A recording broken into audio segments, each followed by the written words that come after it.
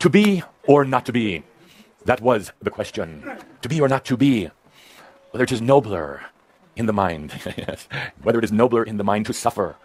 Does anybody know the rest? little shakes. Ah, the slings and arrows of outrageous fortune.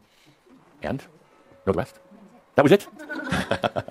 Let's take a deep breath. To be or not to be, that was the question. The question was asked by Hamlet. Should I live or should I die? What's the use? I'm stuck in the suffering of my mind in these outrageous fortunes, or rather misfortunes, that I'm experiencing.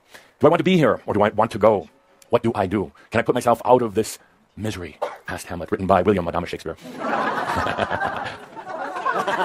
you laugh, you laugh.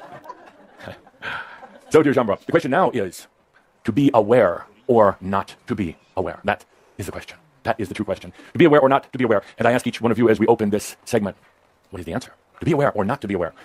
To be aware or not, because the reality is that you are in the middle lands. You're in the middle lands, one eye open, one eye shut, walking in a world of humans with two eyes closed. In the middle lands, not sure what goes next, in the dreaded, despicable middle lands of awakening, where there is a desire for hope, but yet at times so bleak, so gray, and so dreamless. In that middle lands that causes you to want to take many steps back to that old reality where all walked with eyes shut. And you now walking in the middle lands amongst your fellow humans, one eye open. How do you explain to them what awareness is? The blind man, the blind people, the blind group of humans, and just one eye open you have.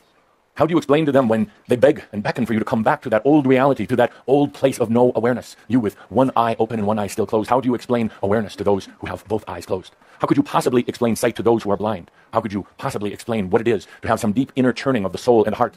To want to move quickly out of the old ways and the patterns of humans, but yet not knowing where you're going to? How do you explain to those with no sight whatsoever? How do you explain the world you are leaving without knowing the world that you are entering?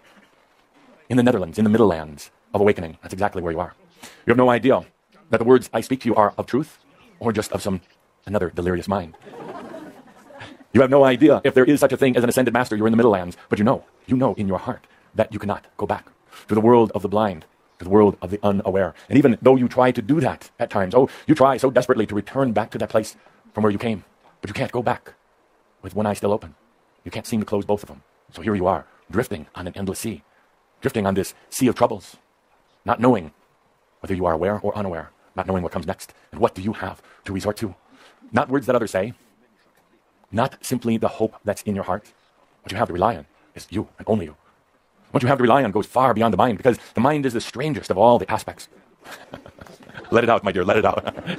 the mind is the strangest of all the aspects. You no longer rely on the mind. It has deceived you, it has created illusions that it has had you believe to be real when in your heart you know they are not. What you have to rely on is you, but yet unsure of who you are still trying to find you in this endless sea of troubles, still trying to identify you, something that simply cannot be done. So you dive deeper. You dive deeper into you. And you come to the point of realizing that you is not who you thought you were whatsoever. The you that you've known was simply a creation of a mind, a mind that was conceived here on earth, that was developed here on earth, refined and programmed here on earth. The mind, the strangest of all the aspects, not you whatsoever. So where do you find you? Certainly beyond the mind, even beyond the heart. You find you in those darkest hours that you've had, those dreadful, horror like nightmarish dark hours that you've had. Each and every one of you have had them. Those dark hours when you know there is no going back to the world of the blind and the unaware. Those dark hours when you wonder, who am I? Those dark hours where you wonder to be or not to be. Should I, should I terminate this? How can I release myself from this trap? How can I release myself from this mental anguish and this physical pain and this lack of knowingness? Those dark hours when you come to the deepest, the simplest, and the truest of truths. The only thing that matters is I exist.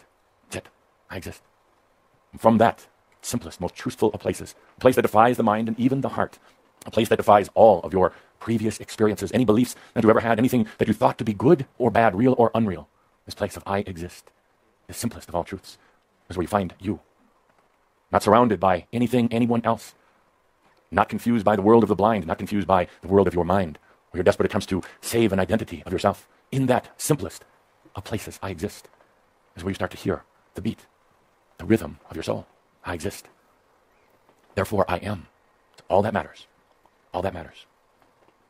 To be aware or not to be aware, such a torturous question, such a torturous middle land you find yourselves in.